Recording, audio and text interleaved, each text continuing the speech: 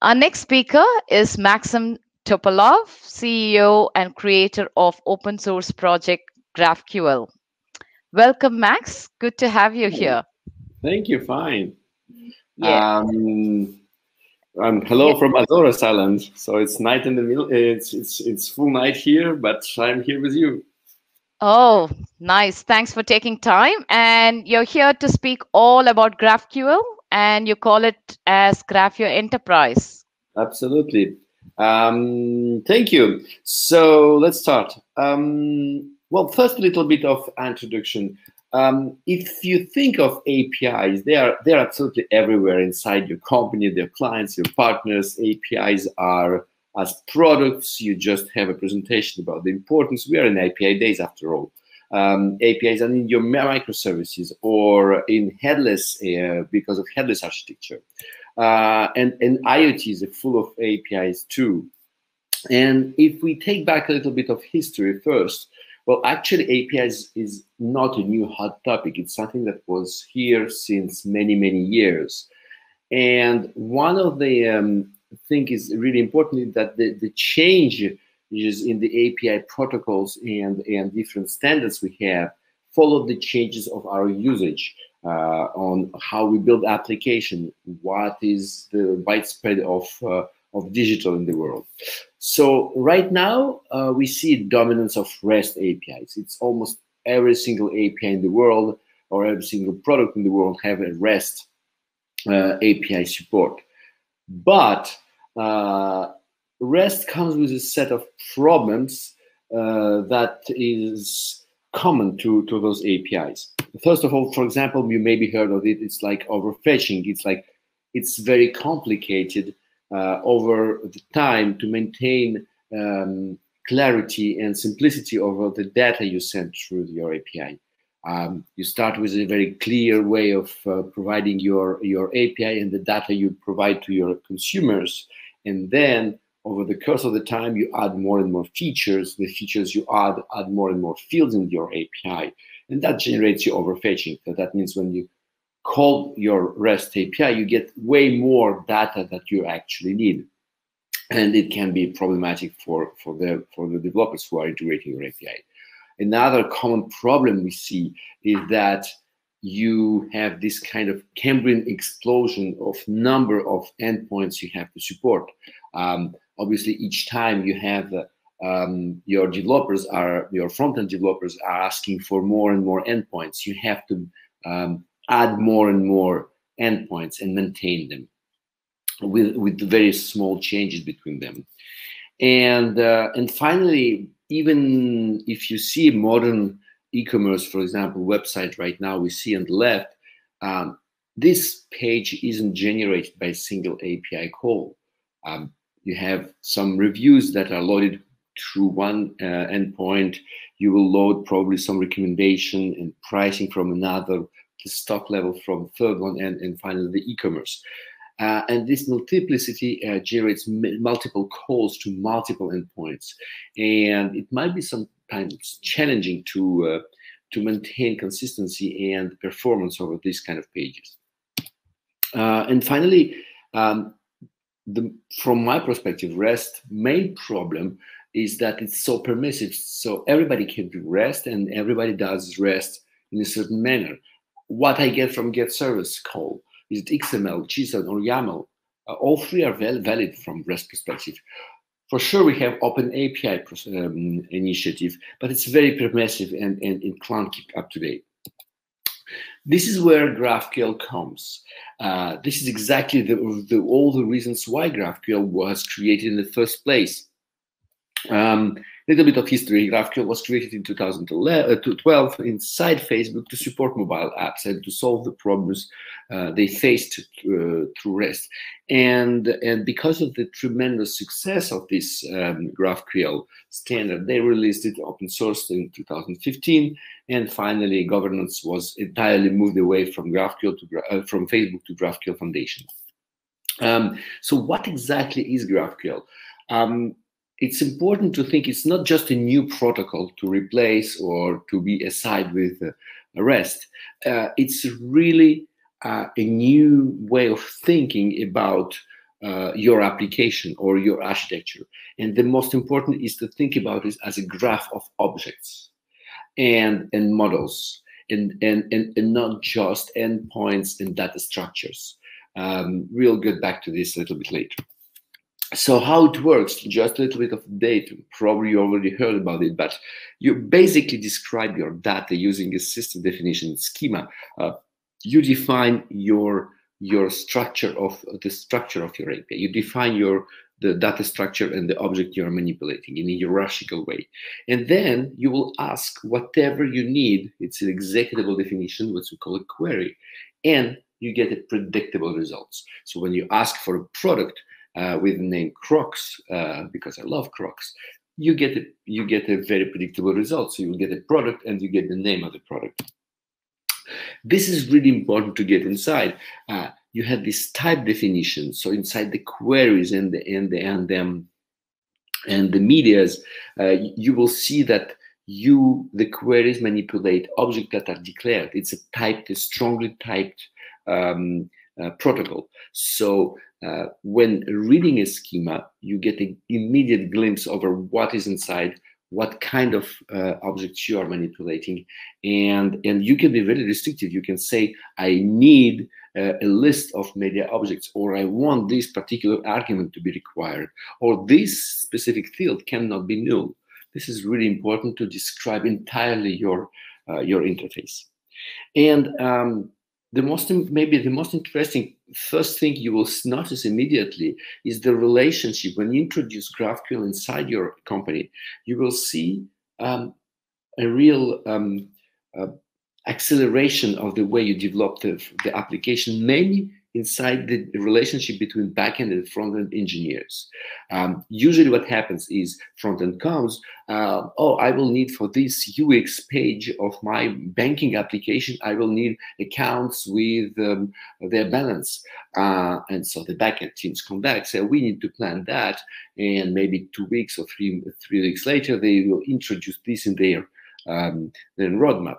What actually happens uh, with GraphQL is that there is a real separation, real uh, lack of adherence between the front and the back end teams because, uh, well, front end guys can query whatever they need. So, some quick facts. So, what we said is GraphQL is a strongly typed hierarchical protocol which actually defines business objects of your enterprise. And it offers introspection and simplifies, or even we could say remove versioning. Um, so usually there's way more problems than GraphQL it actually solves.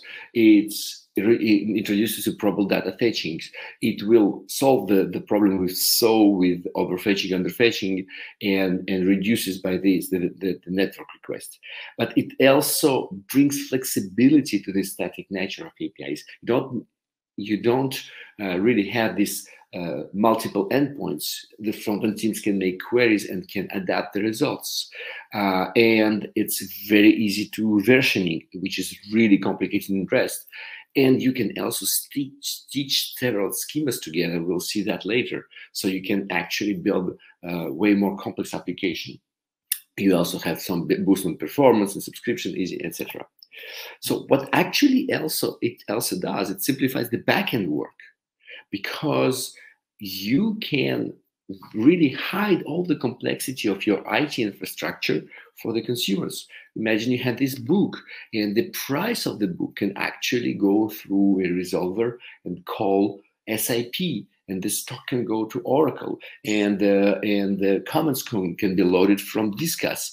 So this is the way um, you actually uh, simplify the backend work too, because instead of uh, working on multiple queries and, and writing multiple middleware and, and, and in the API gateway, you actually write very simple resolvers and let the front end and then let the GraphQL deal with all this front end variation. Um, it's also very flexible for front-end developers. They can use queries with basic inputs, with default values, with multiple arguments. Uh, you can mix them with input types and custom scalars. You can really very easily uh, um, adapt the, your API for the uh, for a multiple uh, fronted variation and UX and screens. Um, one of the important things when you start doing GraphQL is to decide how you go. Is it schema first? So you decide the schema first or the code first. So you build the schema out the, of the code of your application. We really strongly suggest you to go the schema first approach. And you'll see why. This is because using GraphQL and the schema first approach, you can actually create the graph of your company. And this is something extremely important. Let's have a look over a classical architecture for your company. So you have this backend uh, big application like ERP, resource management, CRM, PIM, product information management, e-commerce website, or wholesale management, etc. And then you usually add an API gateway or a development portal that will uh, add some security and access level. And then you have these consumer apps. And what actually happens here is you will create silos, and each application developer will have to understand independently different APIs provided by ERP, CRM, PIM, and ECO. And if you want, and what usually happens, is mixing the results between these. Well, um, why how we build API so far inside this application. It's a way of either access data, so you build an API to access data inside an application, or a way to interact with an existing app. So you want, for example, to create a customer inside a CRM, and usually designed by developers of the backend system. And it represents the API they designed this way represent their point of view of the world, which is not always correct um, which may result in a spaghetti API uh, where each data structure change will induce API change. Each new feature inside an app will induce API change. And each misunderstanding between backend uh, from backend developers over the their view of the API of the world will induce API change. And over time, it creates a spaghetti of API endpoints, difficult to maintain, messy documentation, and unbearable governance issues. Uh, it starts to be very complicated to, uh, to, to maintain a common language inside your company. So, well, well, developers implementing uh, your API uh, will have to understand the data relation across backend systems. Backend systems. Why does it mean? For example, a client what does it mean a client inside ERP? What does it mean have a client inside a CRM? What does it mean a client inside your e-commerce?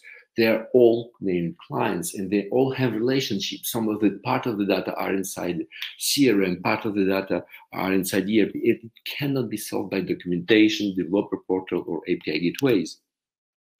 Uh, so what you can uh, they can um, they have to learn the call flow logics and data structure of internal system um, and also it starts to be very difficult to ask complicated questions for example give me all authors of bad reviews of product ordered in the last months uh, from a warehouse in hong kong it's really complicated to get the answers to that kind of question through the apis so once you introduce GraphQL, you actually create a graph oriented architecture. What does it change? You create a centralized, uh, federated global schema, GraphQL schema of your company. So all the types, uh, all the queries are stitched together, together to create a global overview of uh, of your company, of the objects, of the business objects you manipulate. And this is the responsibility of uh, of your graph graph governance team.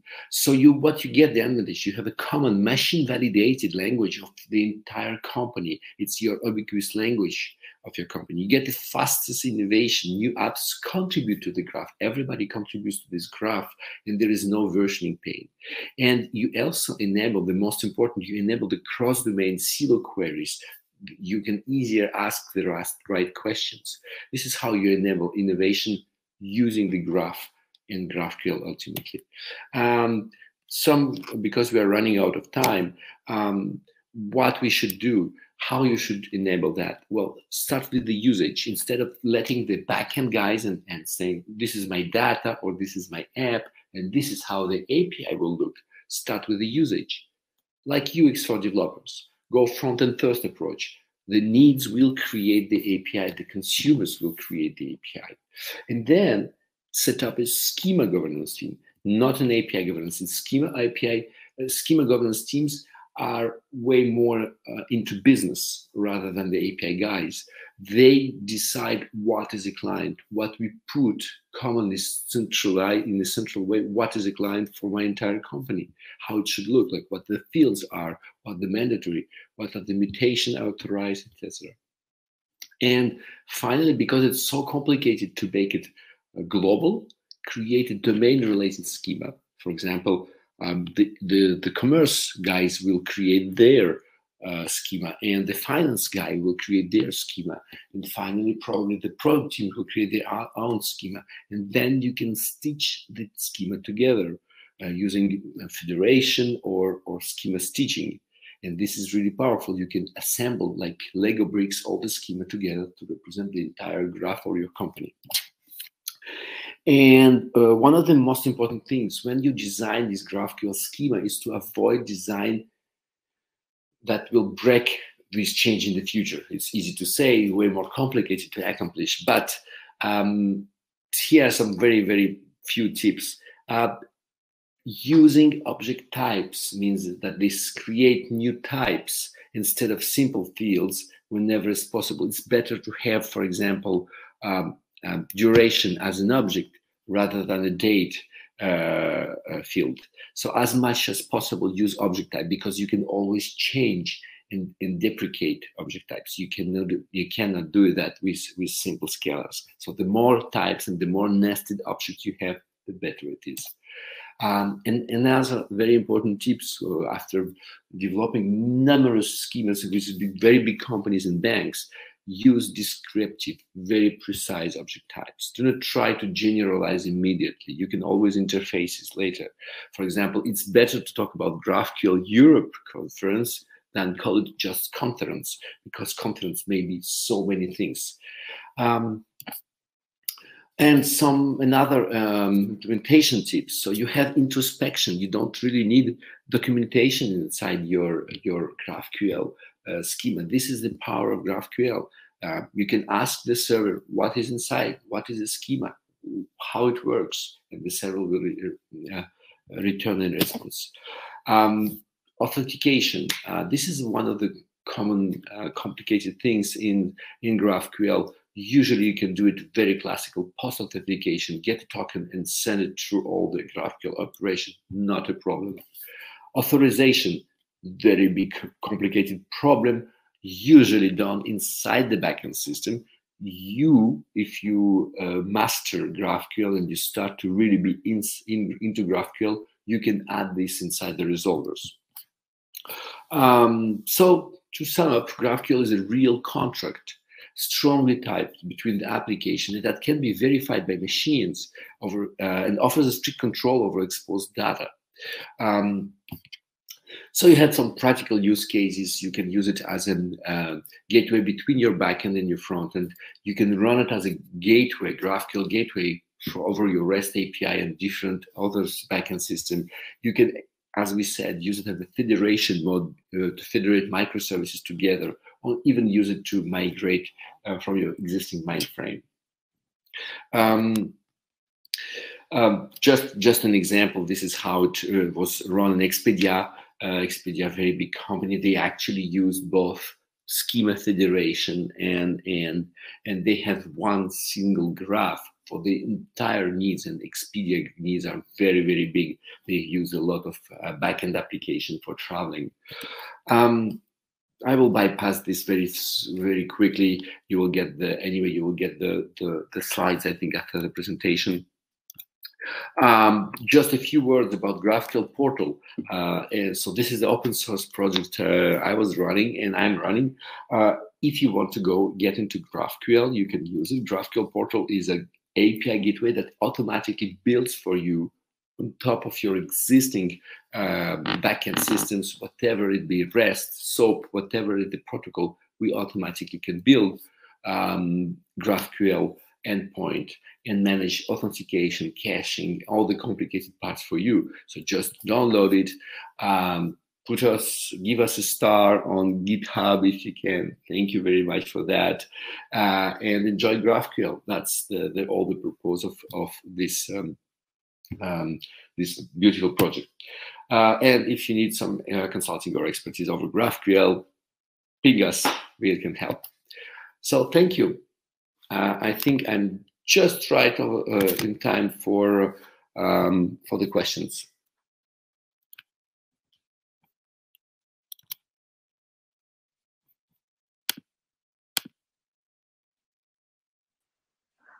Sorry, I was on mute. Okay. Thanks, thanks, Max. So uh, it's it's a full shift from REST to Graph, I guess. Uh, Yes. But yeah, so um, you did call schema governance team, not API governance team. Can you expand a bit more on that? Um, yeah. Um, so the what API governance team does is just to avoid um, what kind of endpoints we publish, who will access to these endpoints, and it's it's uh, it's more uh, about what kind of APIs we publish and uh, uh, we authorize, what kind of application could publish. So it's more like we have this catalog of existing backend systems that are uh, uh, potentially uh, usable, what we publish to our standard way. In the graph um, uh, governance team, it's more like what business objects as a business team, as a business, we manipulate and how we present them. So it's way more business oriented work and way more uh, related to the real reality of the business rather than just APIs and technical stuff and application interconnection. This is the main difference I see. Yeah. So is it is it still more system analysts, modelers working along with business to define those objects? Is it? Absolutely, yes. Wonderful, wonderful. Cool. Thanks, Max, for your for your presentation and in, insightful talk. I I'm definitely going to go and jump on to look into your uh, GraphQL project and will recommend for my Mhm. team too. Thank Yeah. you. Once again, thanks, thanks, Bye. Max. Bye.